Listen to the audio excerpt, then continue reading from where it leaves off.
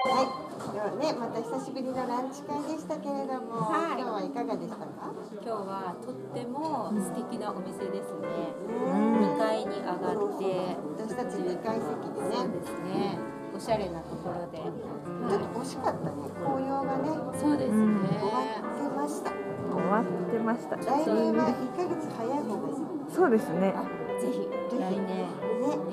素敵なパオライス美味しかったね。はい、スパイス効いてて。そうです。スパイシーなガパオライスでした。あとケーキもね。ケーキも抹茶抹茶コーヒーもキ。美味しかったです。